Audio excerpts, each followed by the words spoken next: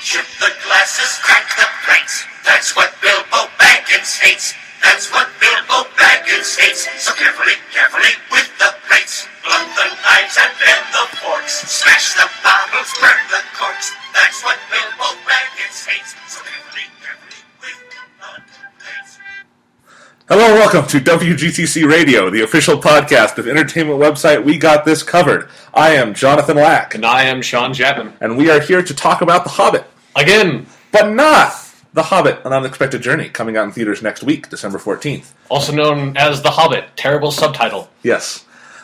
Anyway, we are going to be talking today about The Hobbit, the 1977 animated film by Rankin Bass. Yes. Tell us about this movie, Sean.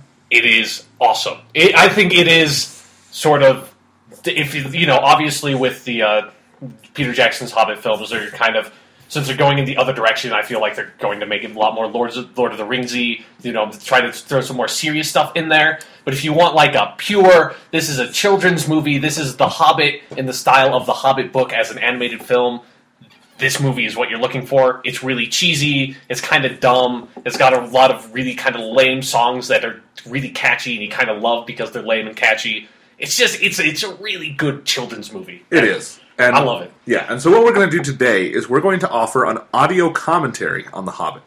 So you can sync this up with you know whatever copy of the movie you have. You can get it on iTunes. You can get it on some other digital services. You can get the DVD. It's out of print, but you can probably you, you may have it if you Yeah. like The Hobbit. So just find it some way. And you know if you can't find the movie, you can probably just listen to the audio commentary if you want to hear what we have to say about it. Yeah. Um, because it's it's not going to be like we're going to be you know like calling back and forth with lines from the movie. It's Yeah. not going to be well, that. there might be some up. of that. Yeah, little That that will be unavoidable, I feel. But Absolutely. But you can listen to it. Anyway, we're saving the commentary for the end of the show. That'll be sort of the main portion. We're going to do it last because we know some people, A, probably won't want to hear the commentary, and B, may want to hear us talk about something non Tolkien esque for a little yeah, bit. th- th- those people have been a bit disappointed for the last month who are not Yeah. really interested in Tolkien. Because next week we're also going to be talking about The Hobbit. Next week we will be breaking down An Unexpected Journey. We'll be going in depth talking about the whole movie. Um, and if you're if you want to hear about the movie before that, my review of the film will be up Thursday, December thirteenth at midnight. So it'll be like Wednesday at midnight. You can read my review, and um, it'll be up. So lots to say about that. But we'll be talking about that movie next week. For now, we'll, talk about the Hobbit uh, audio commentary later on. But first, what's going on in your life, Sean? Well, I recently got a little game that came out called Far Cry 3 that came out on Tuesday. It's a uh, really, really damn good game. And uh, it's kind of sad that it's come out this late because I don't think it's going to necessarily get all the recognition it really deserves. But for those who don't know what Far Cry 3 is, it's, it's, it's the third game in the Far Cry series, but none of those games really have any sort of story tie to one another, which really makes it kind of weird because I've played a little bit of Far Cry 1, and then I played a lot of Far Cry 2, but was really disappointed by Far Cry 2. And it's kind of like they have a lot of really similar gameplay elements, but I don't feel like because Far Cry 3 has such a distinct style and story and characters, it's like really fucking weird that it's still called Far Cry because it has nothing to do with the other games.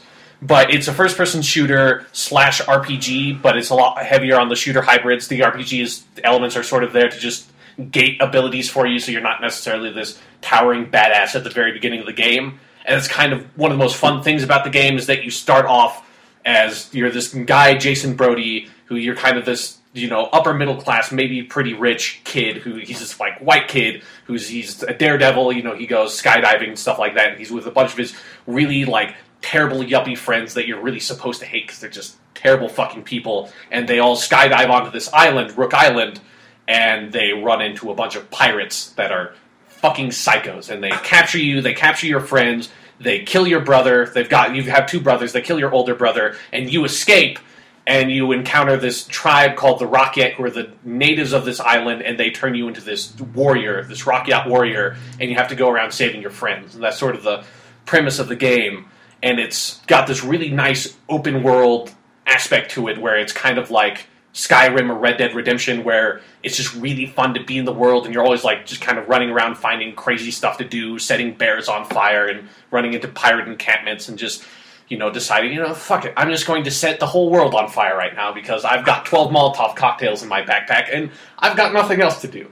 It's definitely that kind of game, and what I really love about it is that it takes it's sort of the opposite of Red Dead Redemption in some ways, where Red Dead Redemption was about John Marston as a man who he wants to get out of the life he's in, but he's being dragged back into the government and he has to take care of these bad people who he was in a gang with. But you feel that John Marston is really a good guy who's being forced to do bad things right now.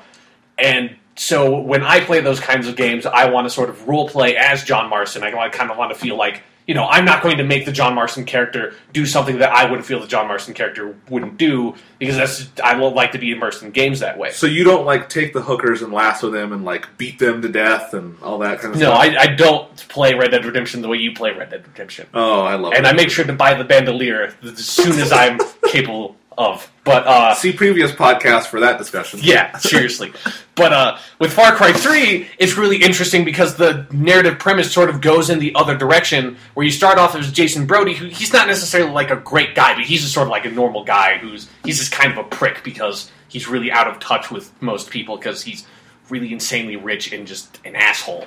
But he has this opposite descent where he's you know he starts off as just a fairly normal dude, but he's in these very extreme circumstances, and he slowly starts turning into this sort of this sociopath. There's a lot of really interesting discussions he has with some of the other uh, some of his friends that he saves, where they start recognizing the direction he's going in. And he has these very interesting conversations where he talks about where he feels at first he was really afraid of killing people, but now killing feels like winning. And has this like this really interesting psychology behind the main character that you play as, which is really fascinating for a first person shooter because it's generally first person shooter main characters are just like Gordon Freeman's. He's just this guy who's this shell for you to occupy. But Jason Brody is very much a character, and since he very quickly turns into a homicidal sociopath, that allows me to feel okay to be a homicidal sociopath. So I don't feel bad when I do things like hunt bears with cargo trucks or just stab people who are not people who necessarily deserve to be stabbed. The game told me to do it. Well, yeah, I mean, you know, Jason Brody's fucking crazy, and you know, I, I, said stab people who don't necessarily deserve to be stabbed. Fuck that. Everything on that island deserves to be stabbed and set on fire. Everything. This is actually kind of the great thing about the game. Everything on that island fights and kills everything else on that island. There's you. There's the Rock tribe who are mostly on your side, but you know sometimes things go wrong. Sometimes you hit the e brake a little bit too late and you crush the dude under your truck, and his friend wants to kill you. You know that happens sometimes. So the Rock tribe will attack you if you attack them. Then you have the pirates who are always antagonistic. And then you just have like, you know, crocodiles that will start just attacking people and tigers that will start attacking people and like crazy ostrich things that I don't know what they're called. They'll start attacking people. There are bears, there are leopards, there are fucking boars. Just everything tries to kill each other on the island. So you run into crazy situations like okay, one of the things, the most fun part about the game is not necessarily doing the story missions, even though a lot of the story stuff is done very well. I haven't beaten the game, so I can't give like my full sort of like spoilers impressions, but the, some of the character work's really interesting. So you do like doing the story missions and sort of see where that stuff goes. But the heart of the game is when you're on the island, you have to sort of go around, and there are these enemy outposts that you have to clear, and those give you access to uh, new stores so that you can buy new ammo and weapons and it gives you access to uh, you know you get some collectibles and stuff like that, and so and it also will clear out the enemy the area of enemies so you can pass through that area safely, and that's kind of key because if you don't do that for some areas, you'll get fucked on missions because it'll just be pirates all over the place. So you want to clear out these outposts, and you can. And the interesting thing about the outposts is you can sort of tackle them from any direction. You can. It's very this sort of like freeform thing where you can, you know, you can just go in guns blazing if you want to, but the smarter way to do it generally tends to be you sneak in there and you try to, you know, you disable the alarms. You try to take guys out without other guys noticing using melee takedowns or silence weapons or your compound bow. That's a lot of fun to use.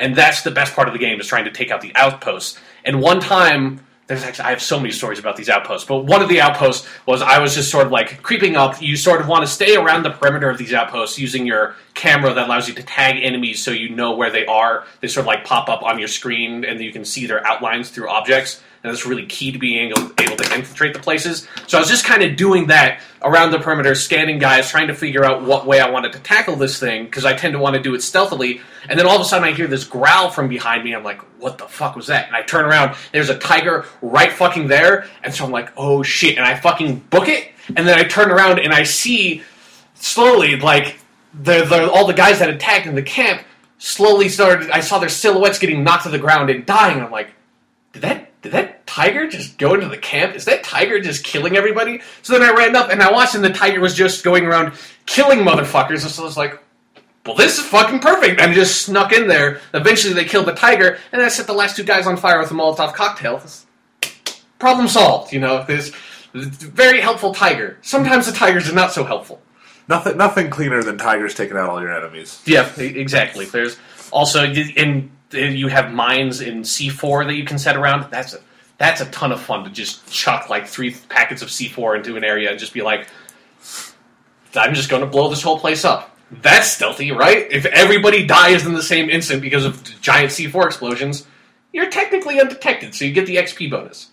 There's, there's a lot of really, really fun moments like that in that game, and I really, if I think it's one of the most fun games I've I've had the most fun playing this game. I think of any game I've played this year. It's you know it's not necessarily really deep. It might be because it it could go in a lot of interesting places. I don't think it necessarily will, but it definitely if you're just looking to have a lot of fun, this is that game of this year. This is like the Red Dead Redemption of this year, where it's like I can just play this game and have a shit ton of fun just being in the world they've created. So, Well, I, I definitely want to play it after hearing about this. It sounds like a game I would like. Yeah, Even no, definitely. I'm terrible at stealth usually in games. Maybe this game encourages you better than others. I, I think it does. I think, and there's a lot of different ways you can be stealthy, and it's so much fun. Because I'm, I'm with you too. I tend not to like stealth in games like this, but there's something about the, uh, the like the knife takedowns and being able to see their silhouette through walls that makes it. It's not necessarily really easy, but you don't feel like it's ever cheap. Like you feel like there's always a way to do this in a really smart way, and you want to figure that way out. And this Sounds good. yeah, it's Yeah. a hell of a game. I definitely encourage people picking it up if you haven't are interested in that kind of thing. Yes. So, and you, as you just noted, you know, because it's coming out near the end of the year, people are probably not putting it on top ten lists and stuff as Yeah, a lot of websites are already putting out there like these are going to be the game of the year contenders, and Far Cry Yeah. Three is not on a lot of them, disappointingly, because That's too bad. not a lot of people have have have, have had opportunity to play it yet. Right.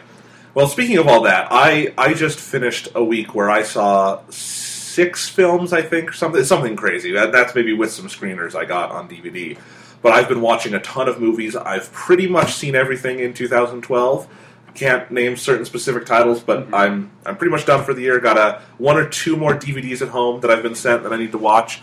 But other than that, I've seen the year films of 2012. I'm drafting my top 10 list, and it's you know it's an exciting time. That's one of my favorite things of the year is making my top 10 list. So that will be coming out on We Got This Covered very soon, either within this week or early next week. But we're aiming for this week. There's some embargo issues. My one of my top films of the year is not out yet, and that's a problem. In fact, multiple ones are not out yet, so we've got to clear some stuff. But other than that, we um, it's a it's exciting time. Lots of good movies coming out this month. I just got to tell you, the one I can tell you about because the embargo's lifted and my review is on. We got this covered right now. It's at the top of the page. You can read it. Is Zero Dark Thirty.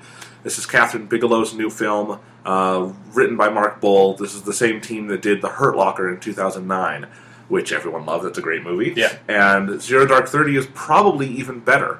I think some people will be more alienated by it because it does not have the same sort of character focus the Hurt Locker did, and I maybe prefer the Hurt Locker just on my own because it's it does to me have more characterization to it. That's Yeah. because that's what it's about. Is Yeah. these people.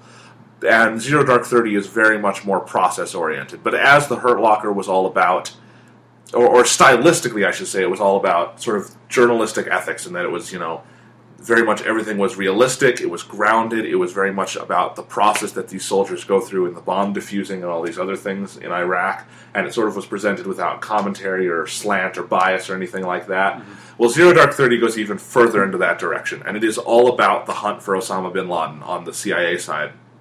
And when I say it's about that, that's all it's about. That's the entire movie, beginning to end. Is sort of you. It focuses around this main character, Maya, played by Jessica Chastain, who's based on a real CIA analyst who was crucial in finding the courier who led them to the Osama bin Laden compound.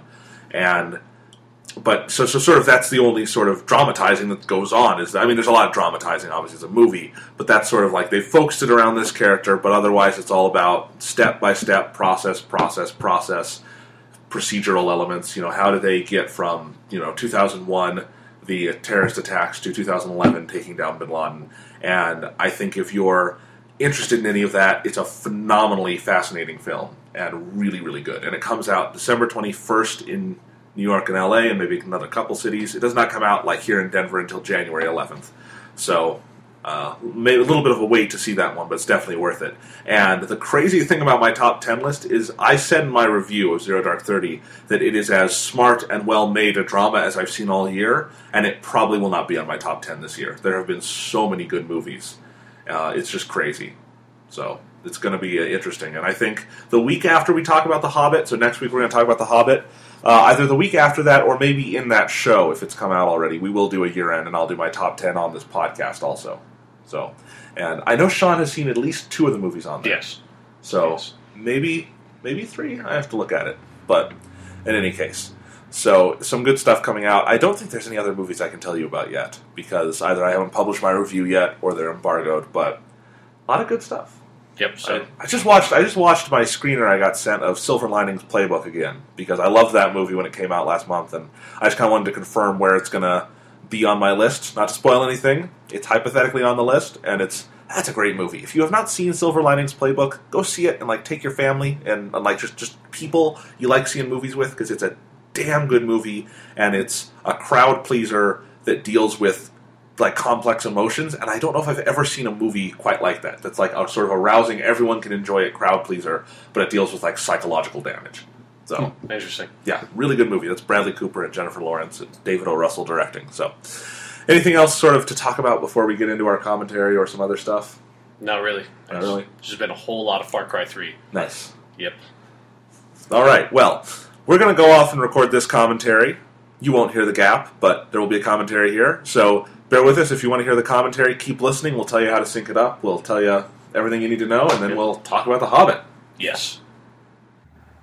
Okay, so here's how this commentary here is going to work.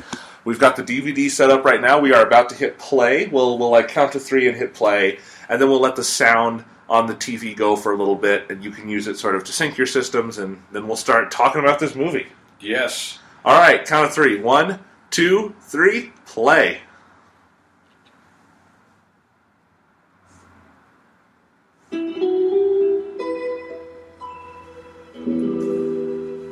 In a hole in the ground, there lived a hobbit. Okay, Sean, so we are talking about the Hobbit movie. Yes. So we're starting with a book, as, as we probably should, Yes. long before And in the hole in the ground there lived a hobbit. but then it goes into something very different. He's talking about like in ancient times, and it's he comes. It was Not funny. so ancient a world. Yes.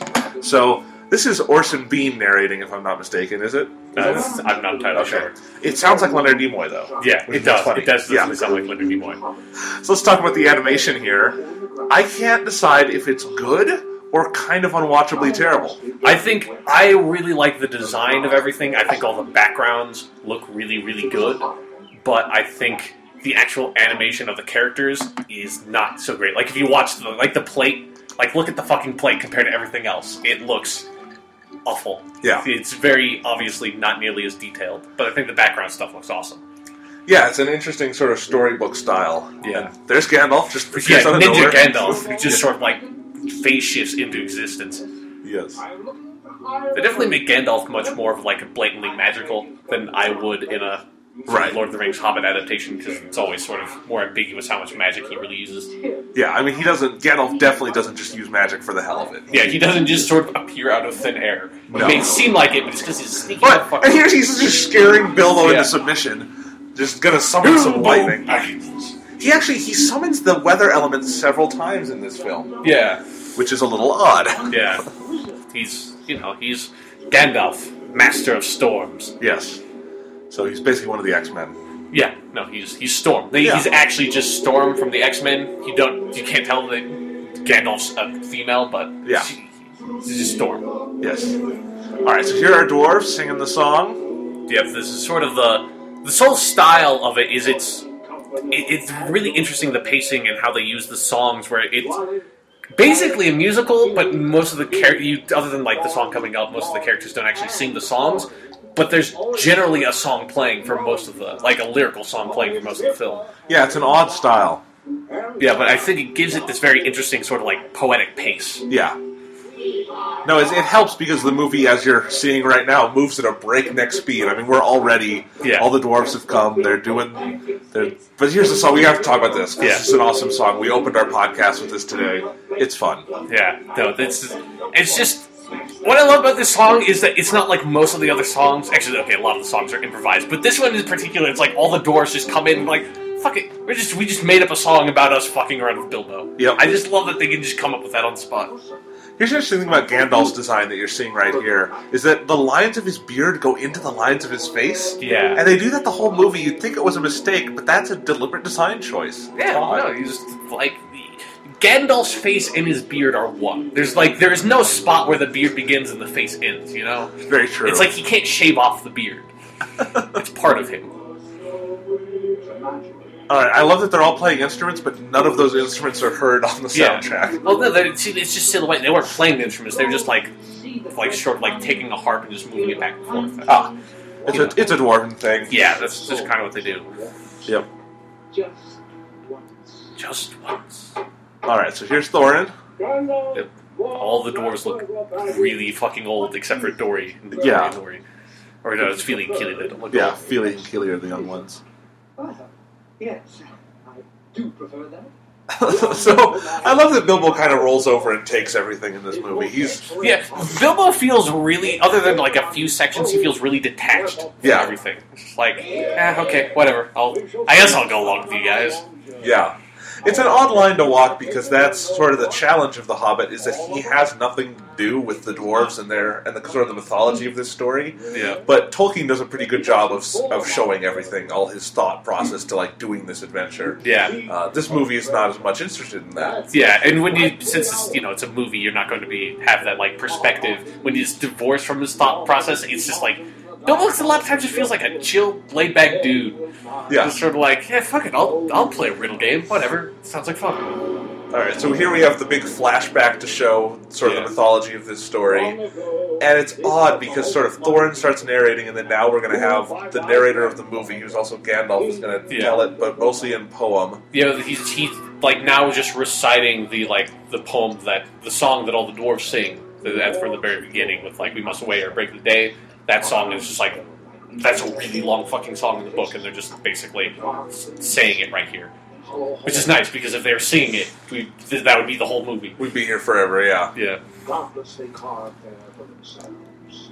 Harps of gold but this is kind of this is one of my favorite parts of the movie. I just like the like the I think the music is the real star of this mu- movie to me, where it's like it really captures this atmosphere. Yeah. For ancient king, elvish lord, there many a gleaming golden hoard, they shaped and wrought, light they call. They, there there is some nice design here on all their Yeah. like gold and their swords and their jewels.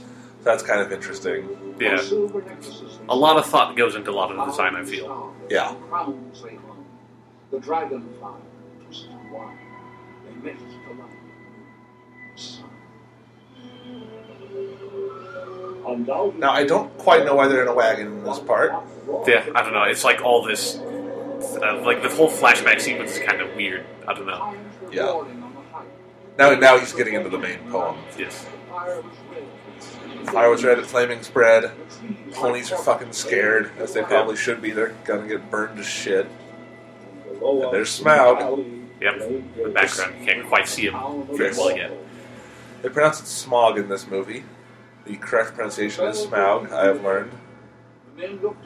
The men looked up. The men are very surprised in their sort of monochromatic way. I love how the water moves. Like you could only see it a little bit there with the river, but there's later that where they show like a waterfall. And it's like there's something. It almost feels like the yeah, like that waterfall. It feels like it's almost uh, like the backgrounds in Flintstones, where it's like Yeah. the same pattern that just keeps on repeating over and over and over again.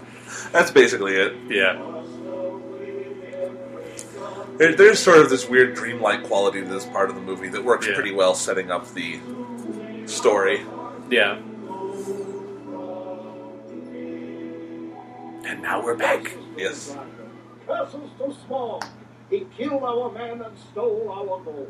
And now women. I don't think there are any women in this movie. Yeah, no, that's very faithful to the book Yes. in that way. J.R.R. Tolkien, interesting fact, did not know that women existed until he started writing Lord of the Rings, and that's when he started Ah. introducing female characters into his works. Interesting. Interesting. I Yep. did not know that. Lucky number you found for us. No argument. I've always liked this weird, like in comparison to the Lord of the Rings, this weird, like sort of superstition around the number thirteen feels very like our worldish. Yeah. I don't necessarily would expect Middle Earth to have that superstition.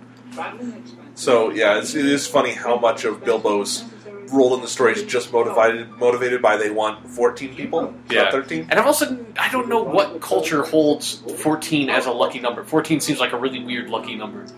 Tend not to. Well, it's not 13. Yeah, I guess, but they say it like fourteen. Oh, that's a, that's a lucky number. I also like how they do. They write up that like really brief contract that's Yes. like three sentences. It's like, if you die, you'll probably die, but if you don't, you'll get some money. That's Yeah. like that's their contract. Bills. Sure. And now we've gone through all that, and we're just at the opening credits. So this Yeah, movie's no. booking. I, I do love that it goes for like the late credit start. It does.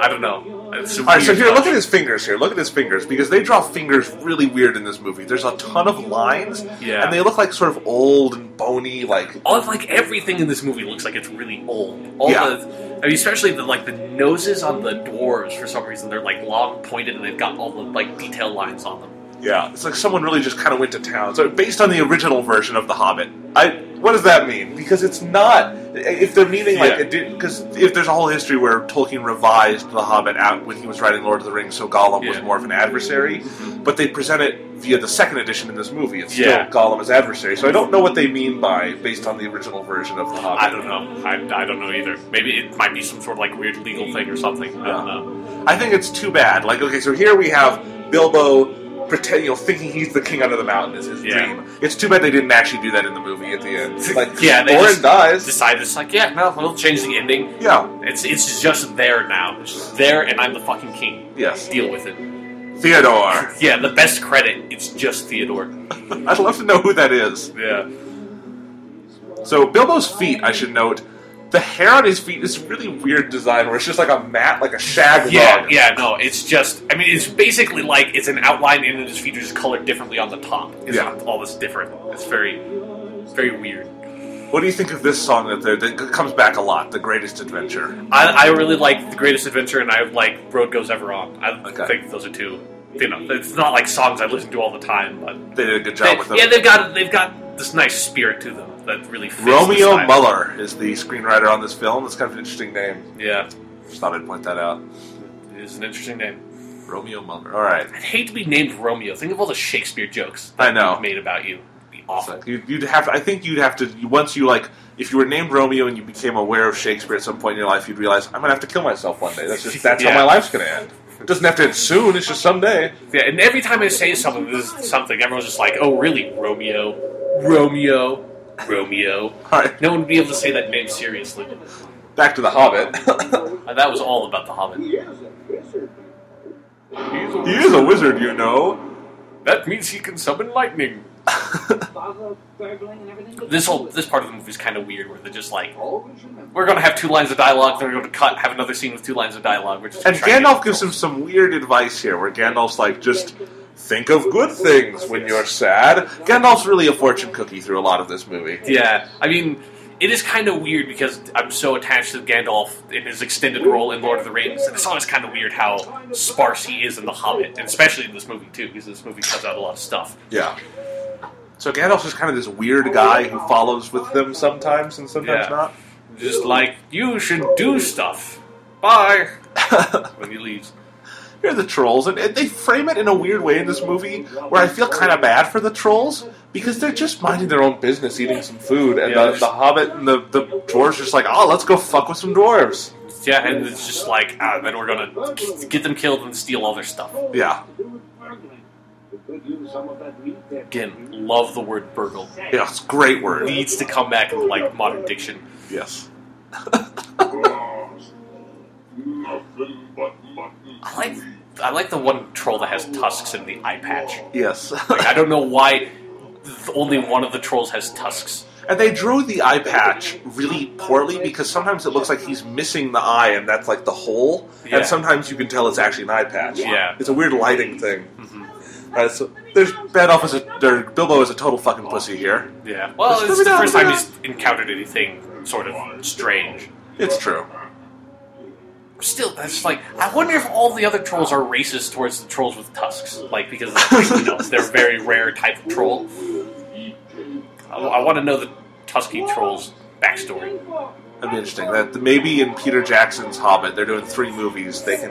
They really that's the character that you to expand out. Yeah. Like, we could flesh out a lot of the dwarves, but ah, tusky troll. That's the guy we want to know about. All right, so Bilbo just got thrown aside.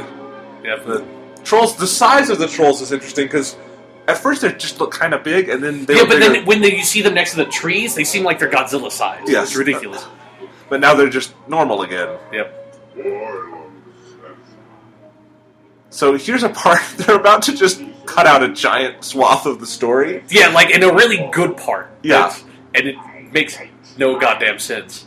Yeah. So apparently the trolls are just really careless, as we're about to see, because they just decided they were going to laugh until Gandalf arrives, and there we go. Here he is. Long table bow, and he stole I do like that effect where Gandalf is like a tree and then he becomes not a tree. I don't know why they did it, but So the big question here is: Were the trolls just lazy, or did Gandalf manipulate the sun into coming out? yeah, Like, is. Is Gandalf a superhero who can just turn this like rotation Yeah, of the it- earth it- faster? it- it's because you know, obviously, in the original version of the story, Gandalf tricks them using like his voice to make them argue amongst themselves until the sun comes up. Here, it's just like, yeah, either the trolls are just idiots and they forgot that the sun turns into stone for a while, or Gandalf should just be able to just kill Smaug by crushing him with the fucking sun. Apparently, yes. And then they find a cave, and Bilbo's really proud of himself for finding it when really all he did was kind of turn his head. and there yeah, it he basically just got thrown in there. Ah, Yeah. We'll keep these. So fine blades. they were made by trolls. They don't seem like troll blades to me. Yes, they don't seem like troll blades to him because you know, They're not. yeah, they're not huge. Yeah. Pretty obviously not troll blades. Whatever are runes? Ancient I I like that Bilbo doesn't know what runes are. Yeah, it, this is that's a really weird detail because he's you know a guy who's so obsessed with maps would probably have encountered runes at some point. Whoever Yes. made we've got them now. We've got them now. Thorin. Yeah, Thorin's kind of an asshole in this movie. He's He just is. like, ah, they're our swords now. He's kind of an idiot too. He's kind of reckless. Yeah, All right, their depiction of Sting is they basically were like, how can we make Sting really lame?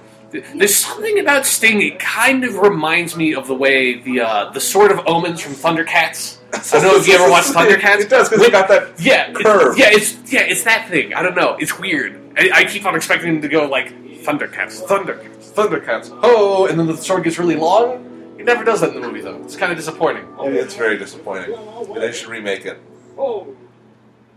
So now Gandalf is going to give him the map, and it's this is a weird change. it's because it, it, I, s- I see why they didn't want to do it earlier. It's a lot of exposition. Yeah. But they just it's the weirdest spot where Gandalf's just like, oh, I guess I forgot. Here's a map. Yeah, There's a lot of really weird things like that in this movie that, like, for someone like us, kind of just like, why the fuck would you put that there? But I think when you're a kid, it's some, there's something weird about that pacing where I can see from the perspective of like you know someone who's like six years old, that pacing totally makes sense. Oh, yeah. that's like that's that's where you put the map thing. You just keep it. It kind of just keeps the ball rolling.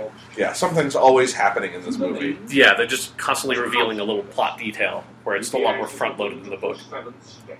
And Oh, Bilbo, somehow right here, Bilbo figures out that that hand means there's a secret door. Yeah, Well, I don't know how the fuck he figures that out. Yeah, he, he says there's something about this hand and the runes, but there are no runes there. You can very clearly see.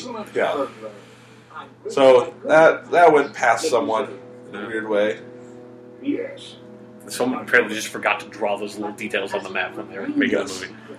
It's too small for small How, how do they know so much about the fucking secret passageway? Yeah, it's a very But weird. not, but not where it is. Like Yeah. they now they need the moon letters to find out exactly where it is, but they know everything else about the secret passage. yeah, just because there was a hand there. Yeah. Like, hands hands mean a lot. But then Bilbo had to figure that all out. But Gandalf had to know the whole time because he had the fucking key, which he just kept concealed. Yeah.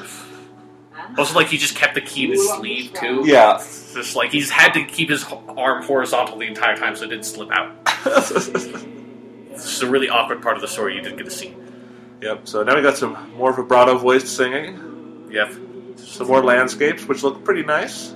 Yep, I think they realized they were really like they had some guy working on the backgrounds that was really fucking good, and they're just like we're just gonna put a bunch of those in. Yeah. On there, you just saw Rivendell, which is a log cabin.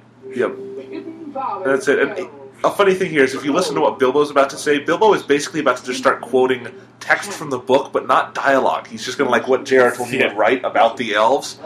Like, yeah, elvish singing is something not to be missed. And Yeah. stars. It's just all just from the Tolkien book. But now we get the Tra La La Lally song, yeah, we get the, the Elvish song. Yep.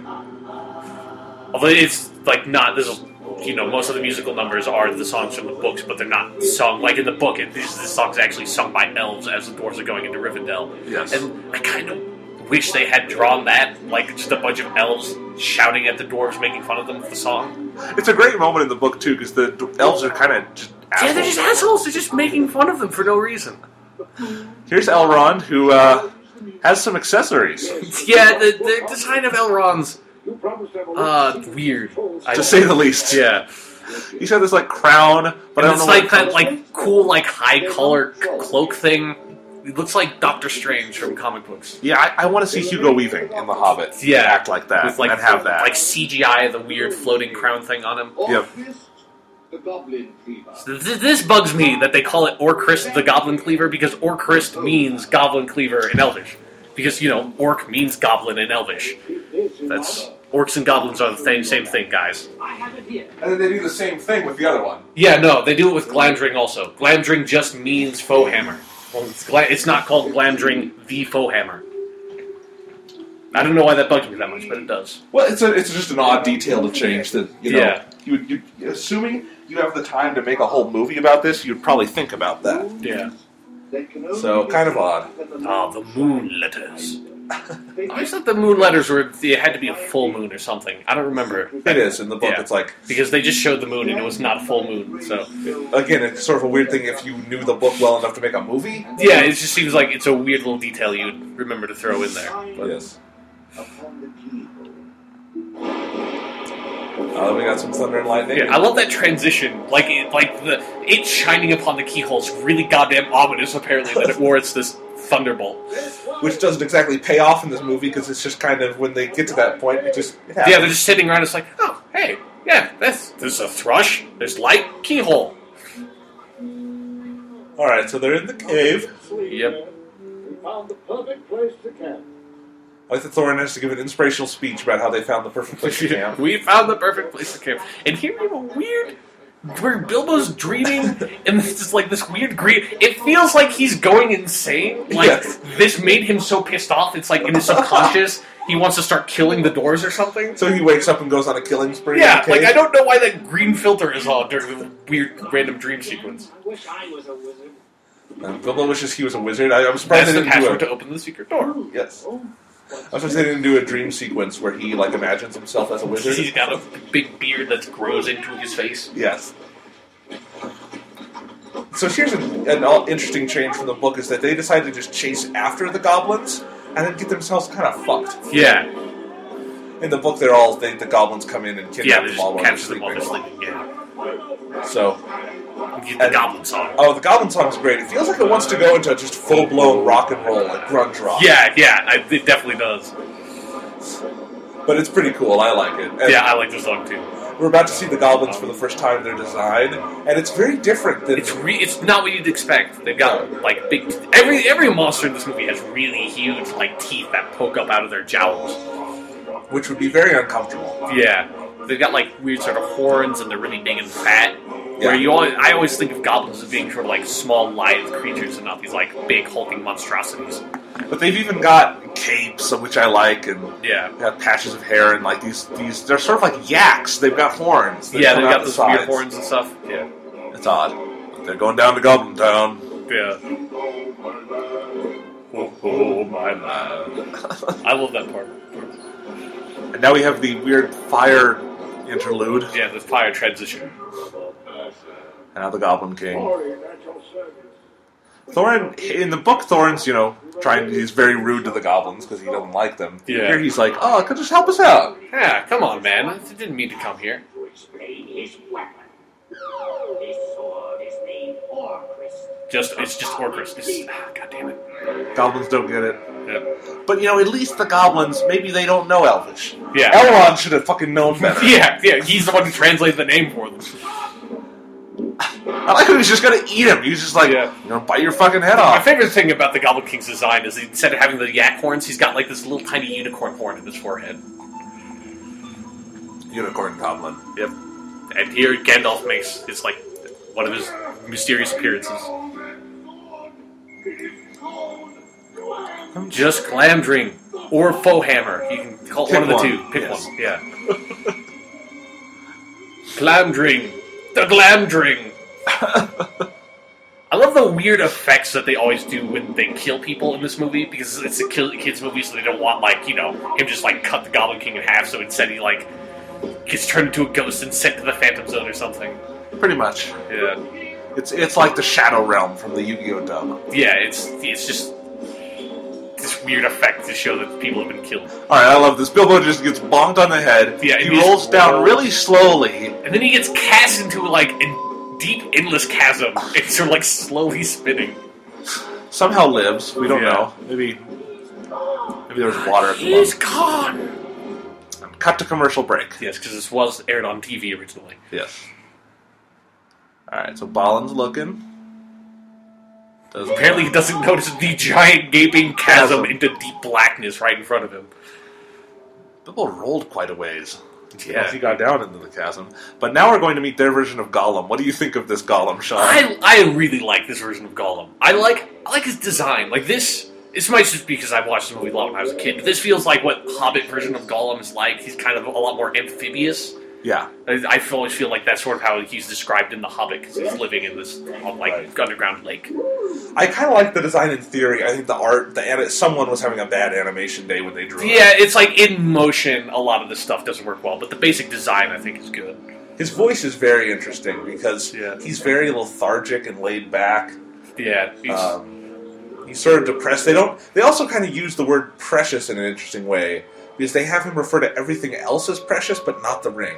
Although I, I want to say that's how it is in the book, isn't it? Like he's he he doesn't just always refer to the ring as my precious in the Hobbit. I feel like No, but he does at least once or twice. yeah, no, he definitely does once or twice, but I do feel like Yeah. he kind of refers to himself as precious also. Yes, he does. Yeah, and that's what he does in this movie all the time. Yeah. So Bilbo just found the ring very nonchalantly. Yeah, They didn't make anything out of it here. Precious, my precious. A tasty morsel. It would make us. Is it my precious? God, this I love this version of Gollum. He's cool.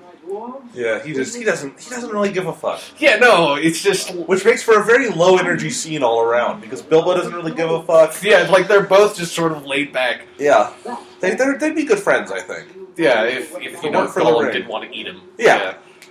There's that.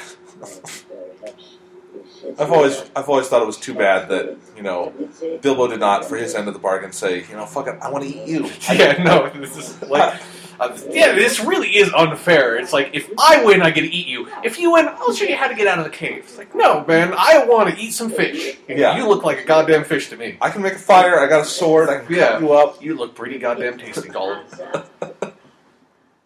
This is just an example for the animation for him, like when he's hunched over, it's sort of like there's too many lines. I think Yeah. that's the issue with the animation. A lot of this movie, it's over lineated, if you want to say. Sure, it's it's. I think they try to make the characters too detailed, and that makes them look odd in motion. Yeah, but I agree. I think Gollum. It's an interesting design, and I like sort of the motions he makes. There's Yeah. very sort of he's sort of thoughtful when he moves, yeah, and they do interesting stuff with his eyes.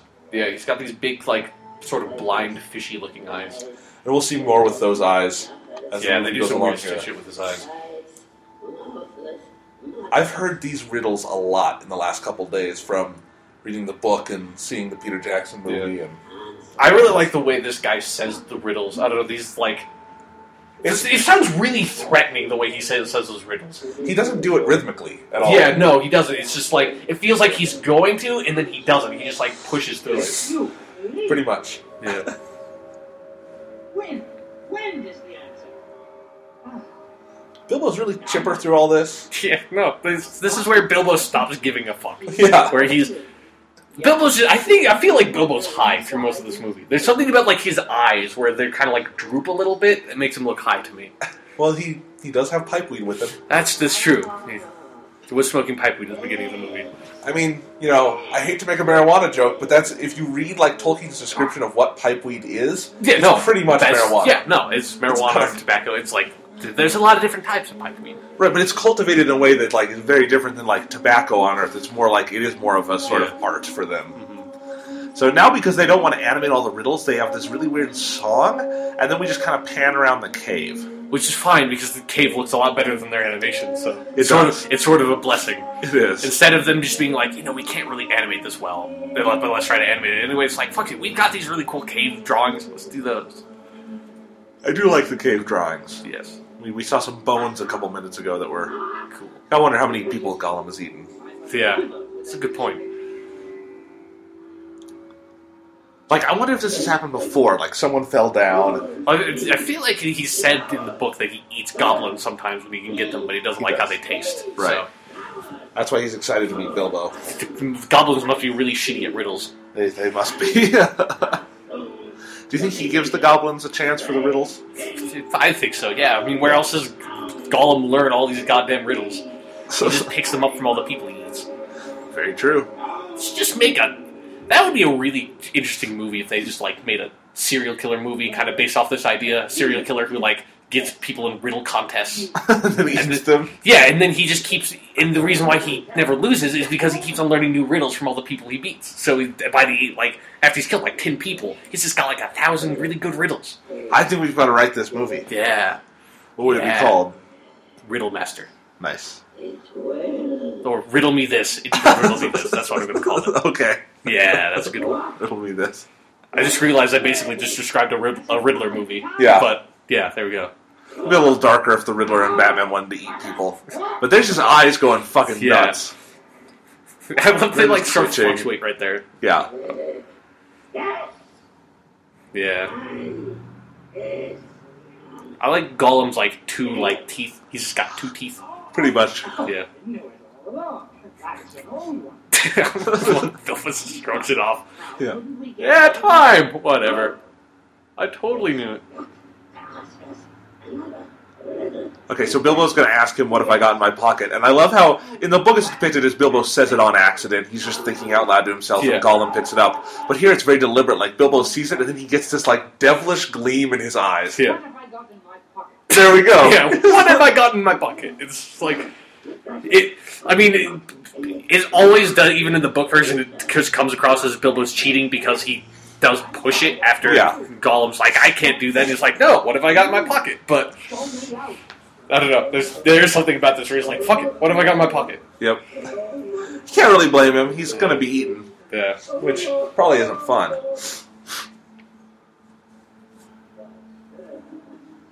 And I love that Gollum wants to show him his ring. Yeah, because it's like in the book, he's going to use the ring because he can't figure out the riddle, so he's going to use it to help him kill Bilbo, right? Yeah. If I remember that correctly. Probably. Yeah, and in this, it's just kind of like, fuck it, I want to. Oh, this is a nice guy. I want to show him my ring. Yeah, show and tell. Hey, Yeah. Where are you going? Ah, the little boat. Yeah. It's pretty cool. It is kind of creepy just how slow he talks. Yeah, there's something really methodical about the way he talks. Yeah. I like that the patch of hair he's got between his head and neck. It's, it's like the exact same color as him, so Yeah. it's like you're not sure if it's like hair or, Or like extra skin. yeah, it's like it's really kind of gross. I like I love this part where he's just throwing random crap out of his cave. Well, what do you think Gollum does on a normal day? That- he sits around talking to himself. That's that seems to be Pretty it. much it. Eating fish. Bless my soul. How do- They say "bless my soul" in this movie all the time. Yeah, it's a very sort of. It's a upper- weird expression. It is. Yeah. Bless my soul.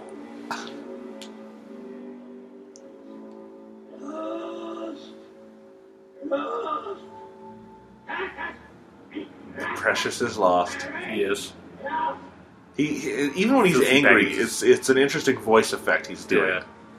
But the more I look at this version of Gollum, the more I, I think it's an interesting design, and I Yeah. like it. There's definitely something intimidating about it. hmm And it's funny because this movie is not, you know, connected to any other version of Lord of the Rings or anything, so it's you Yeah. don't really get the sense of significance from all this. Yeah, But it's still interesting how much of an impression the Gollum, their Gollum leaves. yeah. I mean, they definitely.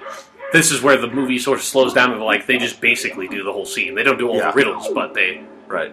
This, All right, so he puts the ring on for the first time, and he's transparent. Yeah, I mean they. I think I love this. Like Sting's visible. Right. Who knows why Sting, this whole sword is visible, but whatever. That's how the invisibility rings work. But when he puts it in the magic sheath, Yeah, that, that he just has in his coat somewhere that he's Yes. always had in there because they didn't pick up a sheath at the troll dump. Yes. The one thing I love about the ring is every time he puts it on and takes it off, there's like this Star Trek sound effects, like whoop. All right, so after there's a great moment coming up here Yeah. that we'll have to quiet up for, but first Gollum's going to have his internal debate where he makes a really weird logic jump. Yeah, He goes from it's like okay, he knew the way in, he knows the way out. I'll go wait for him. Yeah, even though he told me he was lost and got in this riddle competition, so I would tell him the way out. He obviously knows the way out. No. Away. Love how just monologuing to Yeah. himself. Oh, that's what Gollum does. Yeah, that's that's Gollum. All right, Yes. here we go. Here we go. Listen to this, guys. How convenient. How convenient! And he takes the ring off to tell everyone. Yeah, I, there's just something. There's something weird about characters pointing out how, like, sort of vaguely contrived the situation is that would allows him to get out. It's like that. How convenient. And here they, they do the thing where he leaps over Gollum in the most cartoonish way. Ta ta! I, I, I kind of wish that this Gollum would call him a burglar, just so I could hear the word burglar in like Gollum voice. Oh, that's too bad that didn't happen. I want to get a time machine and make the. Crazy eyes. You see, like that whole sequence was like just one commercial section. That's, that's interesting. It's like Yeah. commercial break into and commercial break out. They definitely knew how awesome that scene is. Yep. We had to fight our way through the Goblin Guard. How is it? And he's back with the dwarves. Oh, well, the art of burglary Bur- really, you know, the art. All right, so Gandalf is about to do something very funny. Yeah. He's gonna start making puns. Oh, God, his voice. Your story, Bilbo, has the ring of truth. I love True, that's like the true. first of many really creepy winks that Gandalf gives him. But there's something about how they animate the wink. It's like it's like a brief. It's like one frame. But one of his eyes closes and then it's opened really quickly. It's creepy. Well, Bilbo, it seems your story has come full circle. Yep, it's a circle. It's a big, big circle made of gold that you would wear, maybe on your finger, like a ring that you would find in a cave. That's magic, like a ring, a magic ring that makes you invisible, Bilbo. God damn it. Yeah. I just I don't ever I don't ever feel like they have a consistent handle on how they even want to do Gandalf in this movie. Yeah, I know. They, get, they have the strangest characterization of Gandalf. I, I'm with you. It doesn't make sense how they do it. Alright, so this is a really interesting place to have a song. Yeah. that they do the out of the frying pan into the fire scene with the wargs, but they're all they're just cheery while they're coming to kill all these people. Fifteen birds in five foot trees. Which, to be fair, that song is in the book, so. But I love Gandalf's like EMP pine cone that he throws at them, like shoots out lightning bolts. I also like how the goblins are these really bizarre looking creatures, and then the wolves are just like normal, normal sized wolves with like these big hulking fat goblins on them. It's like just makes me feel bad for the wolves. Their backs must be really sore.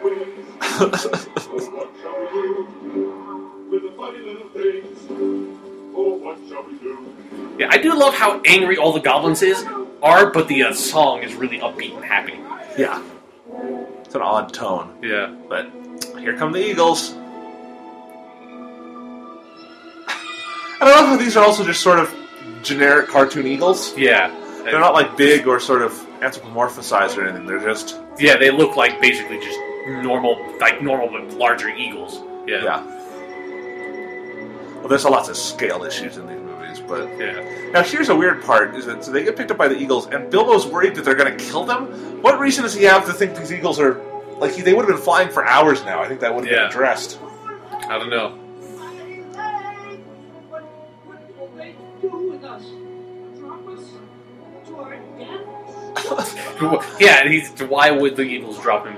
Yeah, Did, Like, there's there's no reason for them to drop them. they just the eagles like fucking with people. Like, ooh, look, people in trouble. Let's Yeah. pick them up and drop them. Yeah, They won't see it coming. yeah. Fucking dwarves. Wood forest.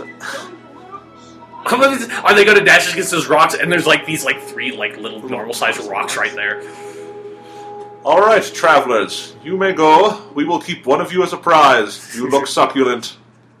Then I love this. That's like of the Eagles. Gwaihir, the Wind Lord. Gallant rescue. I have not forgotten the arrows. I don't know. There's something weird about birds talking to me. There's like they try to make the beak move like it's making sounds. It's like it's a beak. It doesn't look it- right. It, you know, beaks don't have a lot of like muscles in them to articulate sounds like that. It's just a weird looking. It's kind of like in Mass Effect when Turians talk. It's just like there's nothing. You couldn't. You can't make those noises with that mouth. Or the or um elites in Yeah, Halo. least in Halo they have like the big mandibles. Like Yeah. you couldn't. You couldn't make those noises. No. Terrible place, if I remember.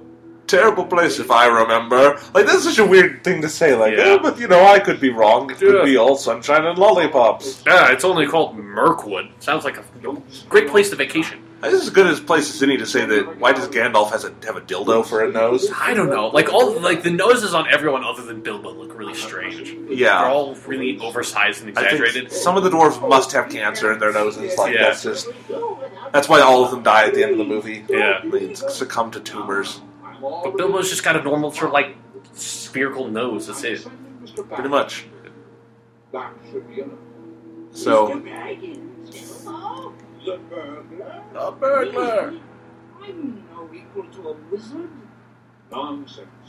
So now Gandalf is going to give him a very odd request. Yeah. will find out there's more about you. First, he's gonna, you know, do the more. Yeah, the wink, the wink again. The wink, yeah. Creepy He's, fucking wink. he's. I think he wants to have sex with Bilbo. It does kind of come across like that in a few scenes. It's really weird. Like Gandalf is a little bit too interested.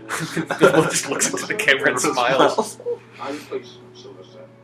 All right, so this is great. He says to keep a Log for the remainder of your journey. keep a log So I may study it when we meet again. so he can study it and tell them what they did wrong. Like what? Yeah, That's yeah, such a weird. It's a bizarre request. It's like, so when you do this again, you know, you'll be more informed. I'll point out Yeah. the mistakes you made along the way fighting the wood elves and the. It's like he's a teacher who's like he's gonna be like I'm okay. I'm gonna have a substitute today, but I want you to keep a log of what you guys do, so I still know. Yeah. In case you do anything wrong. Does, do you think Gandalf does that with all the like hobbits he throws into quests? Yeah. Like he he grades them against each other. He has a top ten list. He should have given one to Frodo and Sam. Hmm. Yeah. Like, just keep a log so that way after all this shit's done. I'll be able to give you some pointers, like point out it's like what what you did wrong. Next all right, time, all right. So Sam, it was it was probably dumb of you to trust to let Gandalf to let Gollum be around as much as he did. I know Frodo wasn't you know he wasn't in no Yeah. fit state to throw him away, but you know you, you should have done something about that. Yeah. So now it's another place where the song is really happy. It's basically the early version of Roads Go Ever On, Yeah. But they're going through a really scary Mirkwood. Yeah, they make Mirkwood a very terrifying looking place, but it's like, road goes ever, ever on. Terrible. Very odd. Yeah. are impossible. For And so they, basically the whole thing with the log was just an excuse so Bilbo can narrate this part. Yeah, because Um, they didn't pay the narrator that much. I- I they pay him by the line. These woods is unpleasant. Oh, they, they get through. It's sort of funny. This plays like the bullet version, like bullet point version of Yeah. Mirkwood, where kind of everything that happens in the book kind of happens, but it's just they go they kind of Yeah, they go it. through it really, really fast.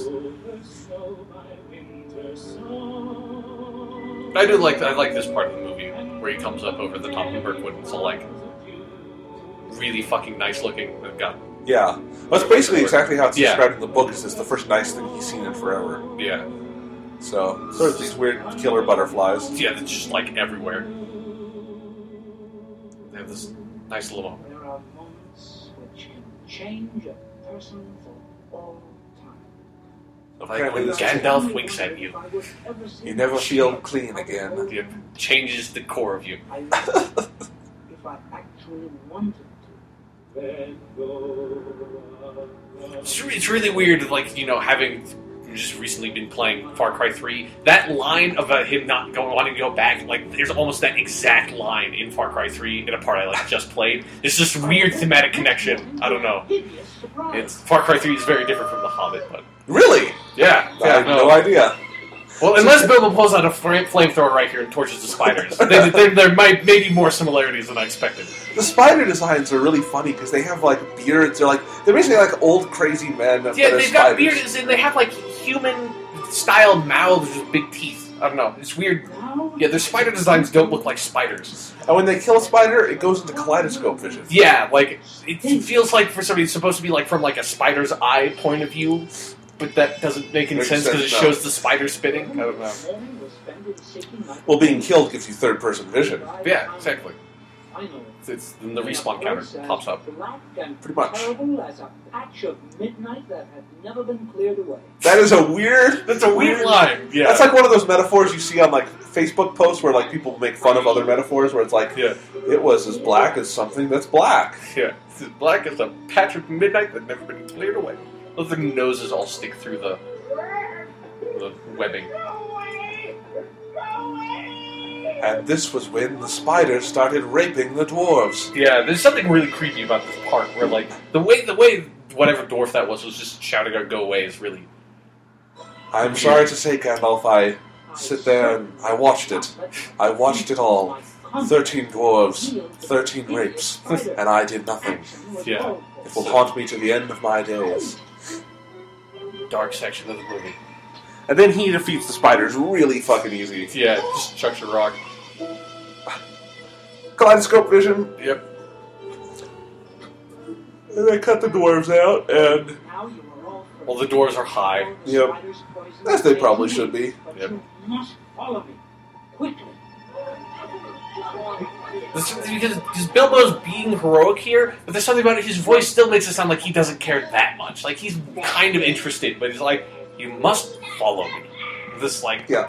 okay, And it's it's interesting how they do this part now, where basically they simplify the whole Mirkwood section, so it, they just wind up running into the elves yeah, in a minute here. But first, Bilbo's got to fight them. Yes. And I, I actually kind of like how they dramatize this here, where it's weird that Sting doesn't turn invisible, but it is kind of funny that all the spiders can see a Sting.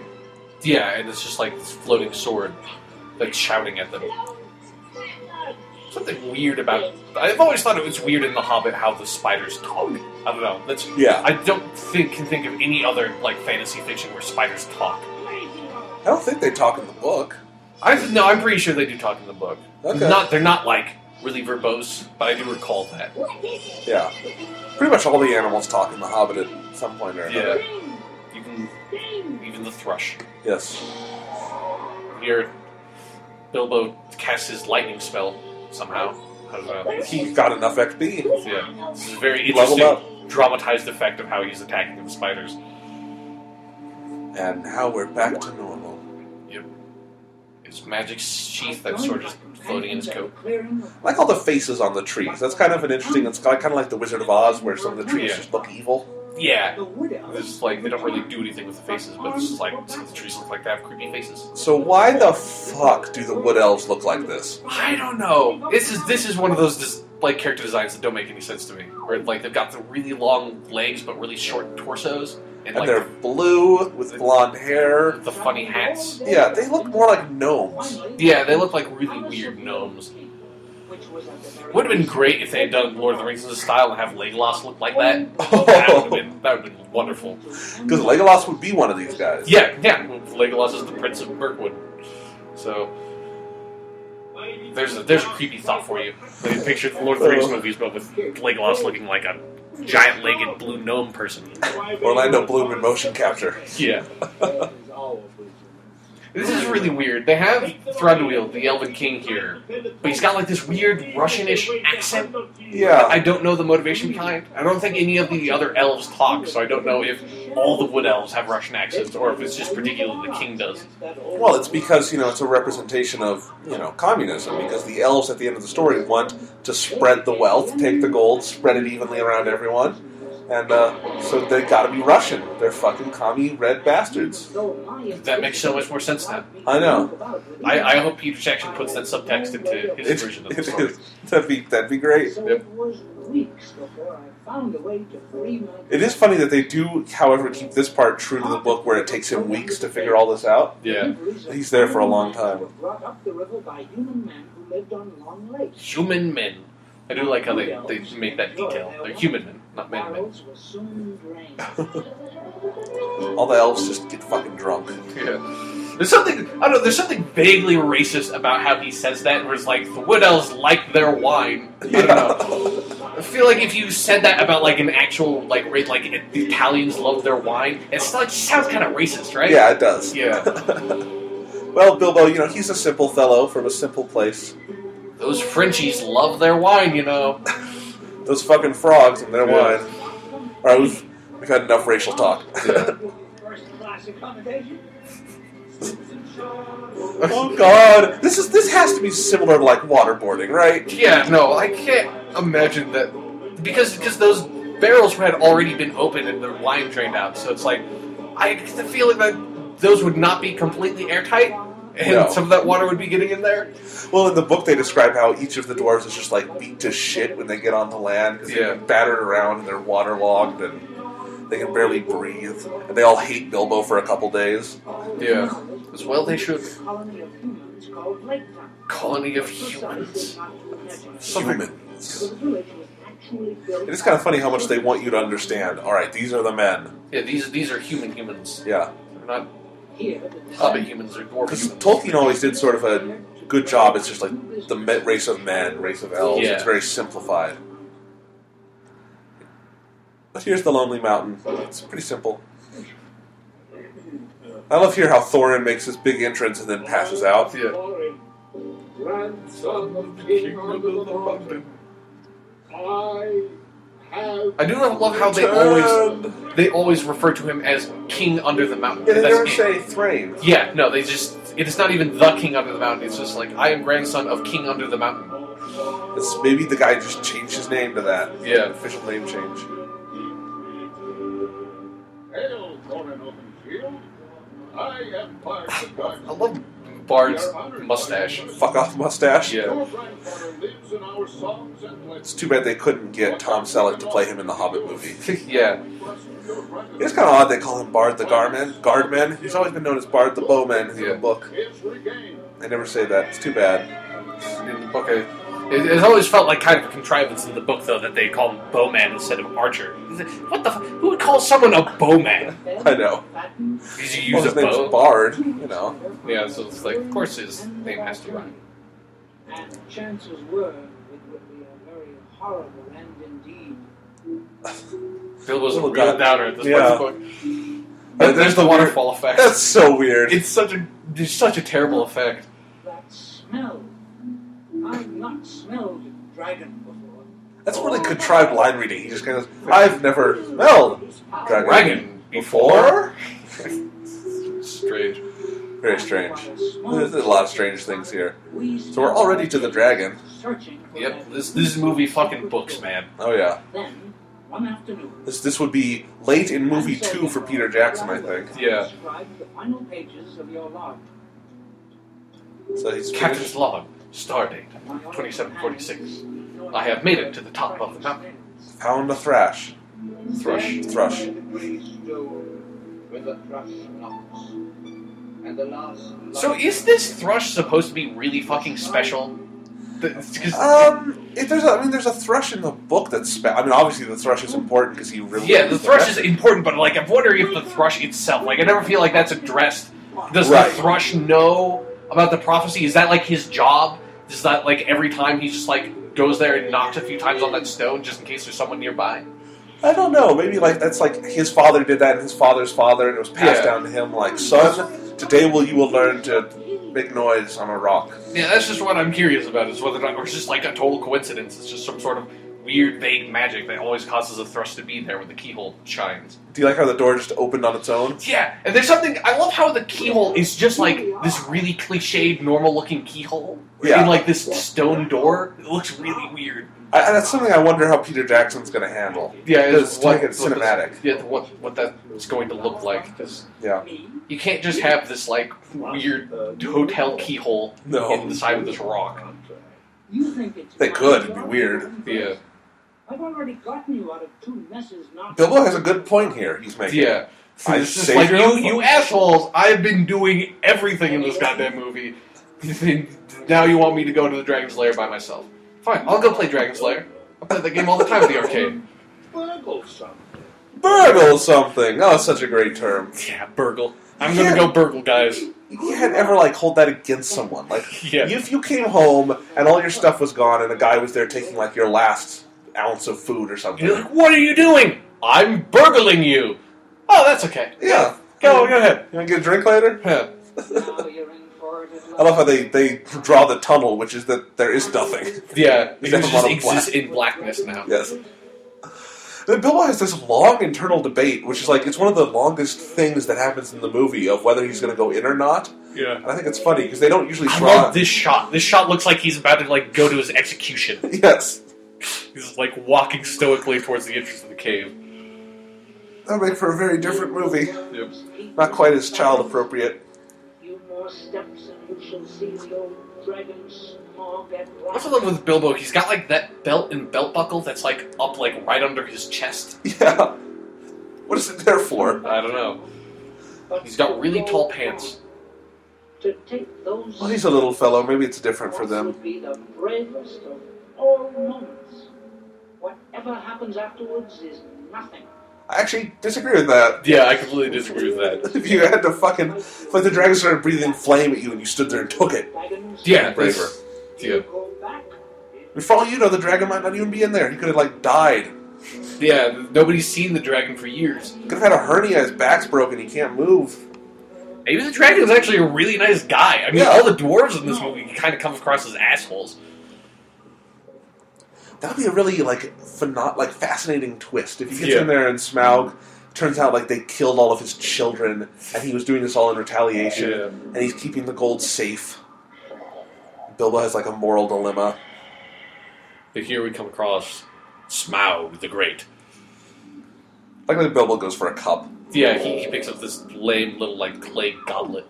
Uh, because it's funny, is in the book that's what he does is he picks up a goblet, but it's supposed to be like a really majestic Yeah, one. it, like the way they describe it sounds like it's this the most spectacular goblet you've ever seen. This is just like lame.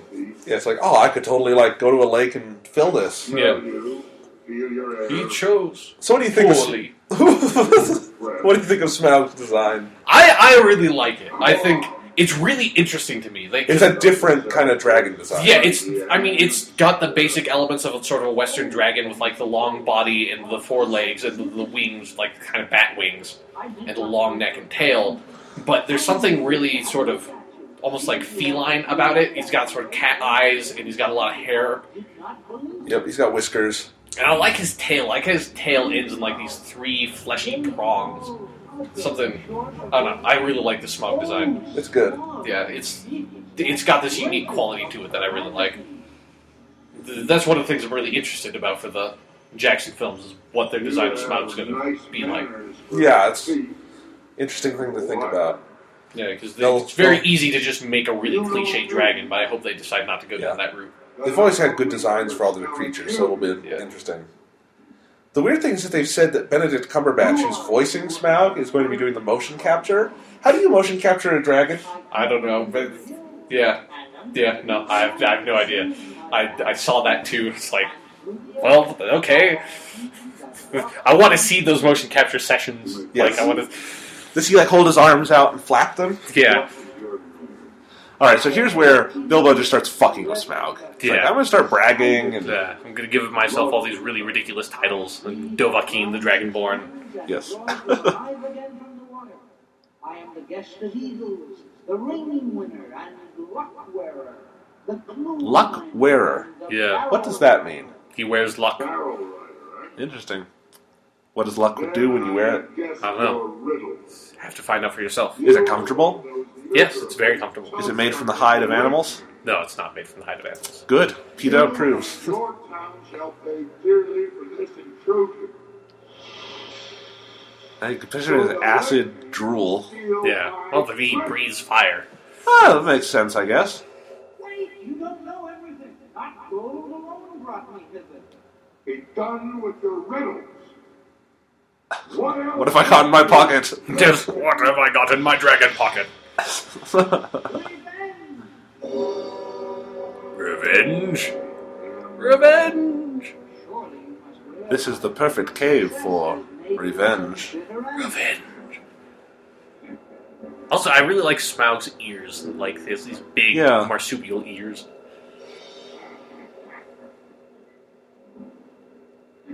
I realized that the invisibility on the ring in this movie is basically like active camouflage in Halo. Yeah. Where it works if you stand still, but if you move a little bit, you become transparent. Yeah.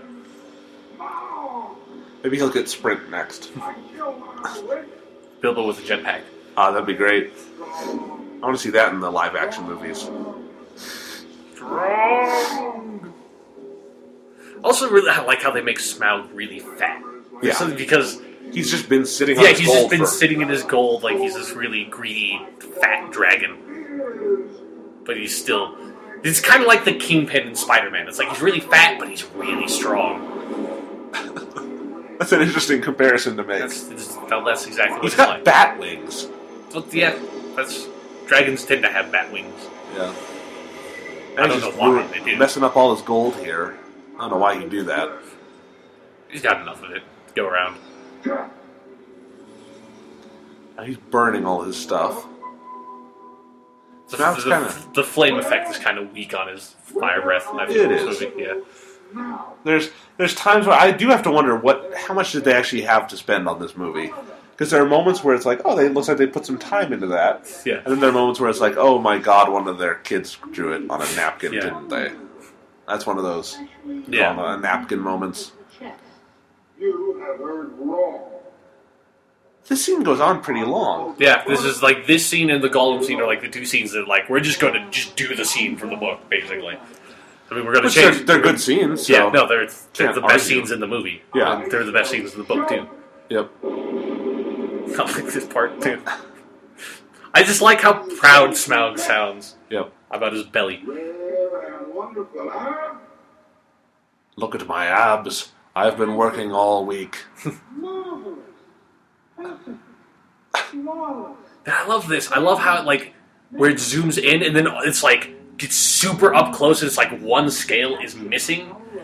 It's like you have to have some really good eyesight. The, the way Yeah. you kind of imagine it not being like one scale, it's sort of like this whole like section Right. that's you know small enough not to be noticed by Smaug, but big enough that you could see it, so you could shoot it with an arrow. Yes. Not like this one tiny slit. Well, it's also described as literal armor in the book. Yeah, And in, in this, I think he says it's armor, but it doesn't really look like it. yeah. It just looks like he's missing a scale, and I guess that just goes right into his nervous system or something. Yeah, that's one arrow right up there. Just Yeah. it's convenient that he's missing a scale right by his Achilles heel. Basically. Yes. That's one of those things where in the Hobbit movies uh, by Peter Jackson, I think they're going to have to do a little more, make that a little more cinematic than just. Yeah, like spot. it's like somehow like that arrow should be like the last blow, Yeah. or else or else it'll come across like the uh, Troy Troy movie with the Achilles heel, where it's Right. like, well, that's really that's really lame. Pretty much. Yeah. Thank you. To do the they should have done the thing in the Troy movie. It's kind of just getting off topic, but when he gets shot in the Achilles heel and it's like Achilles blood just all drains out of the heel. That's how it's supposed to happen in the story. they should have done that. Just like make it really gruesome. Glad to help a friend. Okay, th- I was looking at you for a second, Sean. Then I looked back, and Bilbo's bent over, and Thorin is right behind him. And I was like, "What the fuck are we watching?" He's extinguishing him. Yes, Extinguish me. Bilbo and Thorin love their extinguishing. Yep. All right, time for some action. Yeah, let's get it on. Fire! Cut That commercial. commercial Oh, that would be that would be frustrating Yeah, if it's we like were watching. Right when shit's going down, commercial break. It's an odd thing that that is getting off track, but the whole idea of commercial breaks is odd to me because you need them for the first airing of something and then never Yeah. again. So it's like, especially because I think we're moving away from that as an idea, as a model. Yeah, Um, so one day there's like kids who are going to watch The Hobbit and be like, "Why the fuck does the movie stop every?" yeah. 15 It, I mean, it already feels really jarring to me because Yeah. they, they are really commercial breaks. Like they're, you know, you can watch TV shows without the commercial breaks, and you can spot where they are, but they're not really obtrusive like they are here. right. Because they even do the thing where when they come back from commercial, they have a little recap. Yeah, and like the, the, the song like that they were playing at the very end starts again when Yeah. the commercial comes back up, so it feels really sort of, sort of startling. So here's an interesting part where the thrush they make it much more literal, where he actually gives the thrush instructions, and the thrush flies away to do them. Yep. It's, the, the best thing is when the thrush talks to Bard and he's like, "What? What? Bilbo told you something? What? Bilbo's down a well? Okay." like you don't hear the thrush saying anything. Yeah. Clark, what's that? So there's Tom Selleck. Yep, and his friend Longface. The dragon is coming. I'm a fool. Cut the bridges. To arms. To arms. It's a pretty laid back war scene. I mean, he's shouting a little, but Yeah. I feel like he would shit his pants first. Yeah, when he saw a dragon. Dragon is coming. The dragon is coming. This is much more gruesome in the book too, because there's a whole long battle, and Smaug winds up destroying Lake Town entirely. Yeah. I mean, he kind of does in this. You just don't. It just doesn't focus on it. Yeah. Ready? As he. Arrow. Arrow Yeah, like he says, arrow, not fire. or volley or Yeah, or bowman. bowman bow. Yeah. Engine ground. Rearm. So maybe it is a lot more like Far Cry 3 than I thought. I've totally done this in Far Cry 3. Set an entire village on fire. Here's the thrush, the heroic thrush. Away, you fool bird. bird! I'm gonna say that when I see birds in public now. Away, you fool bird! Found what? You found one? Look. This is like, I'll use my microscope vision. There it is. Big the Drago rush. Black Arrow, you've never failed me. And I hope It's like how he spends, he wastes the time talking to his arrow. Yeah, his. And I love when he says he says Black Arrow, and it just makes me think of like this African American version of Green Arrow, Green Arrow from the DC comics. I am Black Arrow. All right, you hit his self-destruct switch. Yep. And there you can see like Okay, it did yeah, get destroyed. The Daletown is like just sinking into the river. Ah, the shitty waterfall. The best waterfall ever. We meet again. The dwarves strike me as much greedier in this version. Yeah. As we're about to see, they're just playing with their gold. They're so happy. They just want to ship it up and bring it home. And, Bill was like, eh, whatever. Because it's weird because the key to their mission in the book is not necessarily getting a bunch of gold. I mean, that's Yeah. good. They want to reclaim their homeland. Mhm. But here's just they're basically pirates. Yeah, they do kind of come across like that. Much to be done. We must, we must catalog our wealth. We must catalog He our kinda- he sounds like Scrooge McDuck. yep. We must catalog our wealth. Join the convert. Part of this is yours. Will you stop calling me burglar? He's been gone for a week now. How's Rena? So they've just been playing with their gold for a week. Yeah, I like that. We must find our way out of this mountain and see for ourselves if he's wrong, and quickly. According to this map, the main gate lies in this direction. Follow me. What have they been eating for a week if they've been trapped in this room? Gold, ah, I guess. dragon droppings. It's been there's some really dark moments. Yeah. The entire valley floor populated by giant fireflies. Love that. Because it just makes me picture a giant firefly. That'd be cool. I've never seen that in a fantasy movie. Fight, fight giant fireflies. Someone make that. Yeah. All of Lake Town? Like how all their enemies can just get in and Yeah. talk to them. They're not very secure. I have slain him. The thrush delivered your message. Bard is very matter of fact, Yeah, he's just like he just says what's on his mind. pretty much. I have slain the dragon. King, What do you think of that? Congratulations. Couldn't happen to a nicer chap. Really. I I don't know how to thank you. Oh. Bilbo really likes Bard, despite having never interacted with him before. Yeah, Sharing your point. Couldn't have happened to a nicer chap. really. Plenty for all. Wait. Here's where we find out Bilbo's a filthy socialist. Yeah. So once there's, there's plenty for all. Long still live. Well, technicality. So you That's, I love that Thorin says that. as, "Oh, You say you did everything. Yeah, Not but that's a mere technicality. you You will see in our contract that we we get all the gold. have suffered greatly from Ah, yes. war through the years. Basically, he's Chekhov. Conrad van Thranduil. Thranduil basically sounds like Chekhov from Star Trek. Yeah, no, that's what he sounds like. For all of this now. It's a matter of principle, of honor. And tomorrow we take it. We'll meet at sunrise on the field of battle. How did Thranduil know that these guys were up here?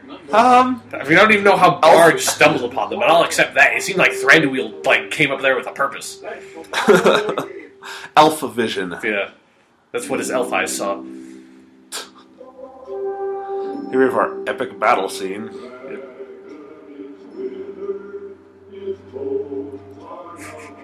I just can't take the Wood Elves seriously. No. Design was so silly. This is deucedly All right, here's here's where Thorin just becomes a total fucking idiot Yeah. in this movie. armor was forged in the foundries of my grandfather. Where it King under the mountain. and it was fighting those who victory. confusticate and be bothered, victory. Like that, like can and be bothered with victory. Because he says that in the book at the beginning about the dwarves. He says, "Confustigate and be bothered, these dwarves." Yeah. But they moved it here. It's that kind of funny. The coward who always went forward while you cringed behind? I like how they kind of hammer home that the dwarves did nothing in this movie. Yeah. Madness. 14 against 10,000? Yet we march off to certain... Now, how do we figure they have ten thousand men out there? Yeah, I, I don't know. I think we saw at most like what fifty dots. Yeah, 10,000 men and five giant fireflies. This is war. You don't understand it. War is all about being stupid, apparently. We just fight. Yep. Oh, great king! I love, I love how the dwarven armor has like these pointy helmets. Yes. So they're really big fans of Link from Legend of Zelda, so they want to make helmet versions of his hat. Approaches from the northeast. I wonder how much earlier was this than Legend of Zelda. Uh, probably like yeah, this was probably like ten years earlier, Yeah. maybe. That's a really awkward scene where he's like Wallen is like bowing down to Thorin. Yeah, Three on. Like Thorin is so egotistical, he wants them all to bow down to him. But I love there. But so Bilbo's like three armies. They really want you to like get in Yeah. this movie how how it's so crazy. There could be multiple armies fighting at once. yeah, How nuts is that?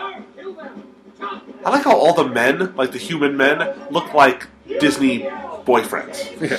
They look like the prince from Little Mermaid. this is like the best line of the whole movie: kill the men, kill the elves, save the gold for ourselves. it's like they're going on strike or something. Old man, get out of the way. Yeah, Get out of the way, old man. We are going to kill each other. Gandalf. Dildo nose. I will speak with the kings. Dread has come upon you all. They, they really they treat you pretty easily here. Yeah, they just straight up just like, okay, yeah, no, uh, goblins, let's let's fight them. I think that now they start talking about how they're friends. It's a really funny line that's about to come up. Oh, great elf king, my truest friend and ally. Yeah, my truest friend and ally. Makes Thorin sound like a real pussy. Yeah, Over king under the mountain. Your people are like brothers unto mine. we are shall be comrades, my friend. with yours. Together we will. Fight together, and, and afterwards we will suck each other's dicks. This is this is who we are to each other. Yeah, this- they just like really quickly make this Yeah. brotherhood pact. And Bilbo's just like, Yeah, fuck this shit. It's like I am done, and he just leaves. Here we go back to the rock and roll. Dun, dun, dun, dun, dun, dun, dun, dun. Oh, oh my god. So the, the battle scene, I love this. Yeah, it's just like these dots and like lines. A battle of The best part is when the eagles eagles a battle of four armies. Yes. There's four. It's just not that hard to count to four, Bilbo. I thought they all pause next to each other on the battlefield. Too. Yeah, it's like they're posing for an album cover or something. Yes. Three kings. These be our last moments then. Let us live them with honor. Hold, all is not lost.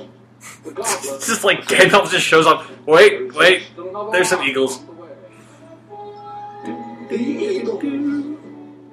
The Deus Ex Machinas. Yes. Five armies now? Well, this is fucking ridiculous. Ah, So four armies I could take, but five? Whatever should we call this? Yeah. The best part is the dot scene for this. If you watch with the eagles, They're they're just like dots that go up and then drop other dots. It's great. There we go. the, uh, here, see, More see, dots just with like clouds the, of dust. The Yeah. dots at the dots at the top. There's just like dots falling out of them. well, that was an epic, you know, heart pounding battle. I was on the edge of my seat, Jonathan. I know. I don't. I don't know how we got through without having a you know heart palpitations. Yeah. You're hurt. I still live. And you? A slight wound, crack on the head. How did Bilbo get the crack on the head? I don't know. They, they like skip all that stuff. It, it makes it seem like how they edit this that Bill took on his ring and then started taking a nap while everyone was killing each other. I and think then that's- he gets up when Bombur crawls over to him. It's like, I think that's are you what guys? Are you shitheads done yet? Yeah, I think that's what happened, and I think Bilbo just said that, or maybe he was smoking some pipe weed and like fell off backwards. Yeah, that, that's how he cracked his head. Yeah. Now here they just noted that almost half the dwarves died, more than half, seven of the six, with when you count Thorin. And in the book, it's only three. It's Thorin and Fili and Kili. Yeah, So this this is a very dark movie. yeah. They're just like you know, three dwarves. That's not enough. Yeah. Thorin's pretty lucid for a dying man. Yeah, he's got a bad case of Gandalf beard. He does. I am sorry I said Thorin is just really. I like. I love the character development in Thorin. It's just like he has this really quick change of heart. Yeah. It's like you're a coward. You are not a coward, my friend. until now. Farewell. And somehow he figured out what the point of war is, which I don't really know what the message there is. Yeah. That when you're in a war, you die. I War. War never changes. More of us valued your ways, food and I like how Gandalf has his arm in a sling. It's just like that's it. Yep. I don't even think he hurt his arm. He just wanted to put it in a sling, and make it look like he did something. he just kept zipping around the battlefield, teleporting. Yeah, just saying convenient lines to people. Pretty much. Farewell, You were never nice to me. See, I love how sad Bilbo's face looks, and just how nonchalant the line delivery is. Like it's, Yeah. it looks like he should be like, you know, he's really affected by it, and it says like, "Farewell, Thorin." Son of a bitch. Your share was greater. It's all my pony could carry, and it's more than I'll ever need. But you have other prizes. Gandalf's still got his arm in that sling. So here's where they start really heavily foreshadowing the Lord of the Rings for some reason. Yeah, but I don't even think they ever had plans to go and like make up this version of Lord of the Rings because that would not have worked. No, we So- we, we, we have evidence of that. Yeah, we definitely do. Turn of the King movie by Rankin Bass. Oh yeah, that's something better not not talked about. Yes. Just say they did a pretty good job of taking Tolkien songs and setting music to it for this movie. They did not do a very good job of making original music for Return of the King. Let's Oh, just okay. say that. I think I had to watch Return of the King once. It was one like one of those days in elementary school where there was snow outside, so we had to all go into the gym for recess. Yeah, And they could they only had shitty movies to show for that. like the, Fern Gully. or like the old Chronicles of Narnia, like from Oh. like the BBC TV movies. Yeah, I saw those. They were they were awful. Yep, not as good as this movie. No, this is a fun movie. It's an awesome movie, especially especially for kids. Like it feels like they like this movie definitely has a lot of problems if you're watching it with you know as an adult, but it's it understands how to pace a kids movie. I feel that on, that only Yeah, kids just be a- to appreciate it. Yeah, just a kids' TV movie Yeah, of The Hobbit. Like this would be a good way to introduce a child to The Hobbit. Like Yeah. you know, maybe if like you know they read the book, they like it. The Peter Jackson version's probably not you know good enough for like a seven year old. Mhm. Probably a little too adult. Yeah. So show them this. Like how he's put the ring in like a special case. yeah, on, on his mental piece. All right, so that's The Hobbit. What you we well we just said what we thought. It's Yeah, fun. it's awesome. I love it. I mean, I do have a, a heck of a lot of nostalgia around this, but I, I still think it holds up as a very interesting piece of animation. It's got a very unique quality to it. And it's not a great movie or anything. Yeah, it's- but it's got this really nice heart to it. That's in It like it captures the spirit of the book, even though it changes a lot from the book in like kind of weird ways. It has that like feel to it that you know that's that's what you're looking for, really. it really does. So, anything else to say before we sign off here, Sean? Nope, I think that's that's the Hobbit. Tom sound effects by Tom Clack. It That's a like great. That's the best name for someone who does sound effects. Tom Clack. It's great. It's like I, Tom Clack and Jimmy Bang. It does look like all the animators on this movie were Japanese, which I This is think is interesting because it's not doesn't seem. It seems more like Eastern European sort of style It animation does. to me than it does Japanese. But yeah. I assume they just outsourced everything. yeah, I, that tends to be how it works.